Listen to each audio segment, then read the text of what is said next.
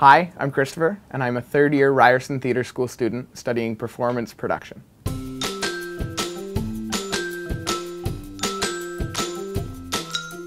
Why Ryerson? Uh, for me, Ryerson was really the only choice. It's located downtown Toronto in the hub of the Canadian theatre industry, and for me, that was really important to be coming here to Toronto to make connections and get opportunities.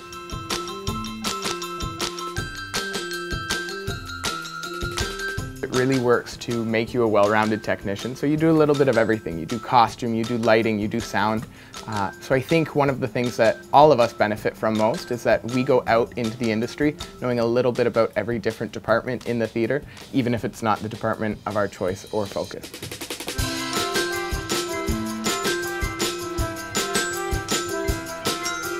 What advice would I give to them?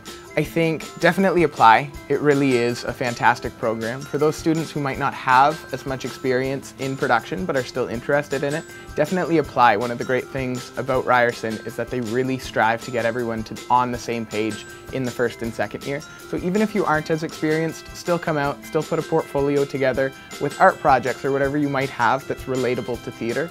Uh, and come on, come on out and give Ryerson a shot.